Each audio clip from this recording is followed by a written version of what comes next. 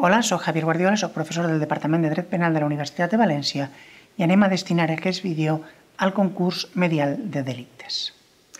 La regla general prevista en el Codi Penal espanyol per al cas de concurrència d'infraccions és l'anomenat concurs real, al qual hem dedicat altre vídeo en esta sèrie. És a dir, la punició separada de les infraccions establint uns límits màxims al compliment. Hi ha, però, altres tres regles generals previstes per a supòsits de concurrència d'infraccions en el Codi Penal espanyol el delicte continuat i el concurs ideal, al qual es destinarem altres enregistraments, i el concurs medial, del qual ens ocuparem ara mateix. Bé, la idea és fer un recorregut breu pel concepte de concurs medial, donar algun exemple per aclarir el concepte i explicar com es calcula la pena en casos de concurrència medial d'infraccions. La definició de concurs medial és ve donada en el Codi Penal en l'apartat primer de l'article 77 i ve juntament amb la definició de concurs ideal, no per casualitat. Fins a l'any 2015, concurs ideal i concurs medial, tot i que són coses distintes, rebien la mateixa conseqüència punitiva. La regla penològica era idèntica. L'any 2015 això canvià i s'establí un règim particular per al concurs medial. Però bé, abans de parlar del règim particular, Anem al concepte. Què és un concurs medial? El Codi parla de dos o més delictes, un, dels, un o diversos dels quals són mitjà necessari per a cometre l'altre. A què ens estem referint? I ho dic perquè la interpretació eh, d'esta necessitat ha de fer-se en compte. Estem parlant de dos o més delictes i estem parlant d'una articulació medial, certament, però d'una articulació medial que és necessària. Això servirà per a distingir tres àmbits diferents. Quan cometre una infracció és conceptual, estructural, eh, sempre necessari per a cometre una altra, com ara entrar en una casa aliena, eh, és necessari per a cometre un robatori en casa habitada. Estos casos, dic, es resolen per via de l'article 8, la regla tercera de l'article 8 que la, diu que la infracció més ampla o complexa absorbirà les infraccions contingudes en ella. Els casos en què la relació eh, entre dos delictes no pot qualificar-se de necessària se sancionaran com a concurs real.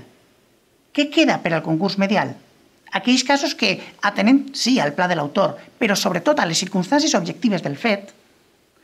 Aquells casos, dic, en què atenent a les circumstàncies del pla de l'autor, era necessari passar per un delicte per arribar a un altre. Per a violar a una persona era necessari entrar a la seva casa. Per a assassinar algú era necessari deixar fora de combat al seu guardaespaldes.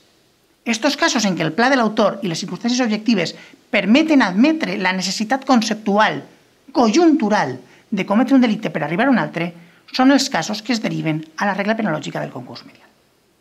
Bé, potser alguns exemples ens ajudaran a comprendre el concepte.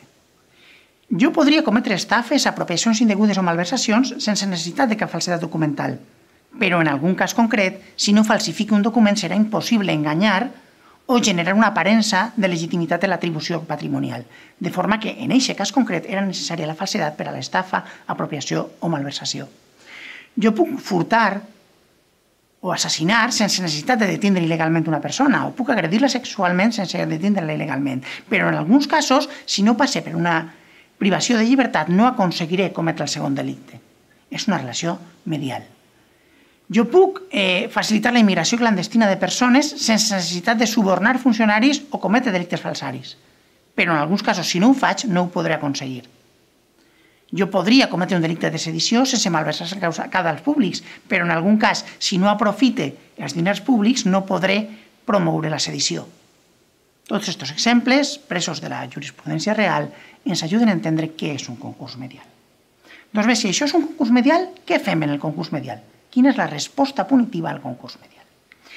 El Codi preveu eh, una regla penològica però una regla penològica que vincula la sanció del concurs medial a la pena que imposaríem a totes, totes i cadascuna de les infraccions incloses en eixe concurs medial. Per tant, el pas previ necessari serà determinar pena exacta, pena concreta, de tots els delictes comesos, de forma individual. Quan ja tenim això, podem anar a l'article 77.3 i aplicar la triple regla que conté. I dic triple regla perquè el que es fa és construir un marc penal, donar regles per a o criteris per a determinar la pena dins d'aquest marc i establir límits màxims a la sanció possible. Les tres regles estan totes plegades, però les analitzarem separadament. Primera idea. Quin és el marc punitiu que aplicarem a este conjunt que ensambla les diferents infraccions que ja no castiguem separadament? Doncs bé, el que fem és construir un nou marc punitiu que no està previst en la part especial i construir-ho a partir de les penes concretes que hem establert per a cadascun dels delictes implicats. Com ho fem? Triem la pena més greu, anem a l'escala de l'article 33 a veure quina pena és més greu que una altra, i si són penes de la mateixa naturalesa, la que tinga més durada. I si tenen la mateixa durada, qualsevol d'elles. Però hem de triar la pena més greu. I quan ja tenim una pena més greu, li afegim un dia. I això és el nou mínim. Quin és el nou màxim? L'addició, la suma de totes les penes que imposaríem. Ja tenim nou mínim i nou màxim, ja tenim un nou marc penal. I ara, com determinem pena? L'article 77.3 diu que hem d'acudir als criteris de l'article 66. I és una expressió eh, que implica un problema interpretatiu greu, perquè apela a criteris, però si anem a l'article 66, en l'article 66 tenim regles. Diu com s'ha de fer.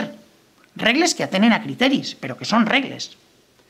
Si tornàrem a aplicar les regles, estaríem multiplicant de forma molt important l'efecte de les circumstàncies agreujants i atenuants. Per què? Perquè la mateixa circumstància agreujant que ja ha provocat que imposara per a un delicte concret una pena elevada, provocaria després, una altra vegada, que imposara dins del nou marc penal del concurs una pena agreujada. I a l'inrevés, la mateixa atenuant que ja havia provocat que imposara una pena lleu per a un delicte, provocaria després que dins del nou marc punitiu construït, tenint en compte aquesta pena lleu, baixa la pena encara. Això generaria un problema de vicinidem. Per evitar-ho, la Fiscalia, molt eh, primerencament, proposà interpretar criteris no com a regles, sinó com a raons de fons que hi ha darrere de les regles, en l'article 66. La jurisprudència ha seguit el camí perquè era molt difícil trobar una alternativa, però cal avisar que en acabant estem fent trampa, perquè el que estem fent és aplicar criteris generals atendre les circumstàncies de l'autor i del fet. Sí, molt bé, però això ve imposat per l'obligació general de motivació de l'article 72. Això no són les regles de l'article 66. En qualsevol cas, és difícil trobar una alternativa al problema interpretatiu, de manera que amb això haurem d'arreglar-nos. Tenim un marc penal, tenim una regla de, uns criteris de determinació de pena i tenim uns límits, perquè l'article 77.3 eh, en acabant exigeix que comprovem que estem respectant els límits que per al concurs real estableix l'article 76. És a dir, que no estem castigant més enllà del triple de la durada de la pena més greu i que no estem excedint els límits objectius de 20, 25, 30 o 40 anys, en el seu cas. Si passarem més enllà d'aquests límits, hauríem d'ajustar la pena a la baixa per a no sobrepassar-los. No he dit res de la previsió relativa a la presó permanent revisable perquè tot i que l'article 76 efectivament recull previsions per a la presó permanent revisable, per la seva naturalesa, la presó permanent revisable no admet els càlculs previstos en l'article 77.3.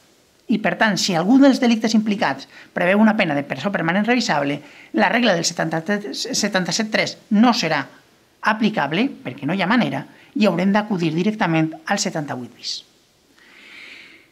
Amb tot això ja tenim les regles. Anem a veure si amb un exemple ho veiem amb més claredat. Suposem una persona que, per tal de cometre un robatori, ha privat de llibertat a una altra no el temps mínim imprescindible per a furtar, sinó un temps més perllongat. Estaríem davant d'un concurs medial entre unes detencions il·legals i un robatori amb intimidació. Per al robatori amb intimidació, el Codi Penal preveu una pena de presó de 2 a 5 anys, per a la detenció il·legal, el Codi preveu una presó de 4 a 6 anys. Imaginem que en el nostre cas el robatori té una, greu, una atenuant i la detenció il·legal té una greujant. Doncs bé, a partir d'aquí, el primer que hem de fer és determinar pena concreta en els dos delictes. Per exemple, jo apuntaria una pena de dos anys de presó per al robatori i de cinc anys i un dia de presó per a la detenció il·legal. Són les penes mínimes possibles. Quan ja tenim aquesta pena, hem de veure quina de les dues és la més alta. Com la naturalesa és la mateixa, anem a la durada. 5 anys i un dia de presó és la pena més greu.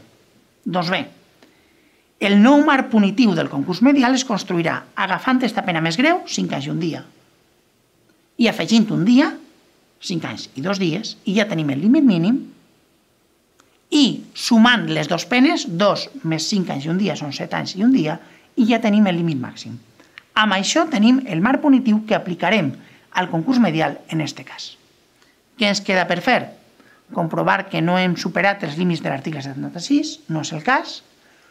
Comprovar, eh, aplicar els criteris de l'article 66 i a partir de l'aplicació d'aquests criteris concretar la pena. Per exemple, podríem posar una pena de 5 anys i 7 mesos de presó. Espero que hagi sigut d'utilitat. Moltes gràcies.